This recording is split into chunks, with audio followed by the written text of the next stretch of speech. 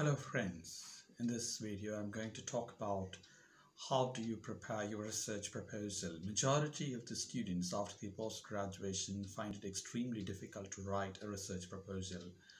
There is no guidance given to them by their teachers or even their uh, friends to write a research proposal. A comprehensive research proposal has to define the research problem very clearly. Y- As a research, uh, you know, as a researcher or a research student or a research scholar, you're expected to know what you're going to do.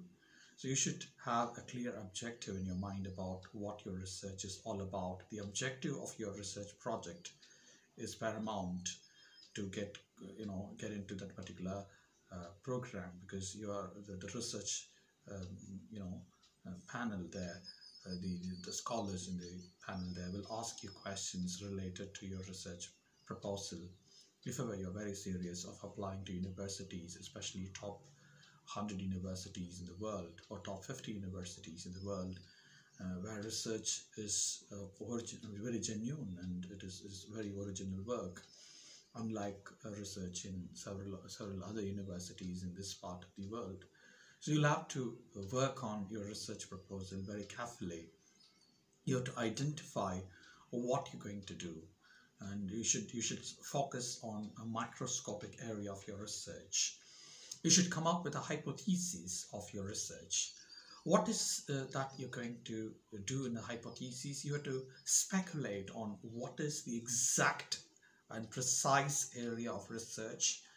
What is your research problem? You should define it carefully. Describe uh, the the, the factors which which make you to uh, you know analyze this. Why, why do you like to analyze this this particular research area?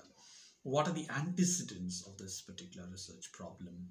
What sort of changes do you expect to happen? And you should also have uh, the context in which this research problem is quite significant for people to uh, go further or delve deep into it. You should have read at least say 15 to 20 research articles relevant to this particular area of research. What is happening at the moment in this area of research in all the other uh, you know fields? Like for example you have you've taken up um, uh, research on blended language learning. So you have to really study what is blended learning.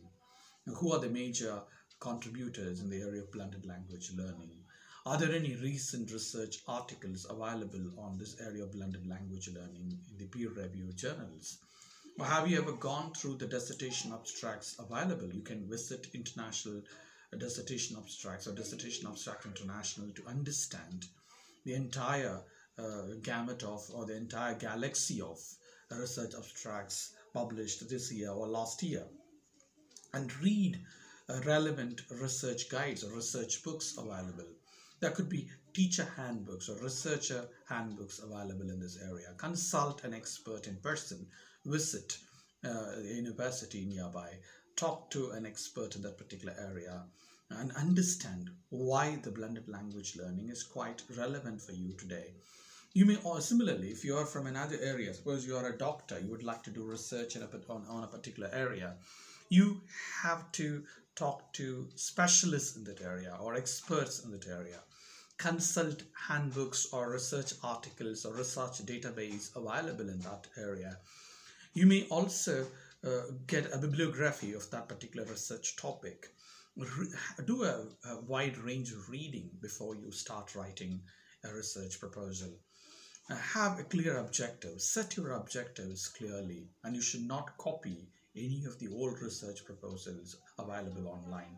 You should not really uh, replicate any of the research projects done already. So you, it is, it's good to read a few uh, dissertations if before you start writing your own research proposal. Once you finish, uh, you know, uh, writing down your research objective, you have to describe the area of, uh, of your research, the field of your research. Is it going to be a survey-based research? If it is, uh, so then you have to talk to your statistician uh, somebody who is uh, very familiar with statistics of research understand what should you do. Ask them ask for a guidance to come up with a questionnaire. What kind of questionnaire are you going to develop? Or talk to your prospective research supervisor about how to go about it. If it is going to be a quality uh, based research or qualitative research, uh, you will have to work on which factors of quality or which aspects of quality are you going to work on. Uh, you, you can also define the future uh, trends in research or the future developments in research. So all these are going to help you in a very big way to come up with a game plan for research or a blueprint for research. And you should also, you know, consult a few experts or a few researchers who are already in the field.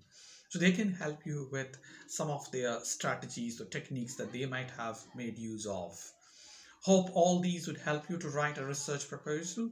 If you need any support in this regard, please call me and visit me in person. I'm there to support you to write down, uh, you know, some of the important aspects of all that you have in mind. Even if you're from any other field, either the, the field of engineering or medicine, or uh, from any other field, I'm there to support you to come up with your own research proposal. Wish you all success. Good luck to you. Hope this might help you in a very big way. Hope to meet you in the next video with some other new topic. Wish you all success. Bye.